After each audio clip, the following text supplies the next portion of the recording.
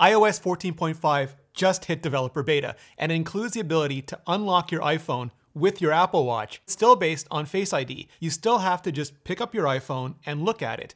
But if you're wearing a mask and your nose is covered, up until this beta, Face ID couldn't get that third point of facial geometry it needed to confirm you were really you. So instead, it just failed and forced you to enter your passcode like an animal. Now, instead, we'll ping your Apple Watch. And if your Apple Watch is unlocked on your wrist and detects your pulse, the security system will use that as authentication instead. When that happens, you'll get a Taptic alert on your watch, along with the ability to immediately relock your phone. You know, in case a friend was just trying to prank you or sneak a peek at your business. You will have to enable it all in settings, and it's only for unlock. And it's only in developer beta right now. So make sure you hit subscribe, and that way I can tell you just the second it goes live.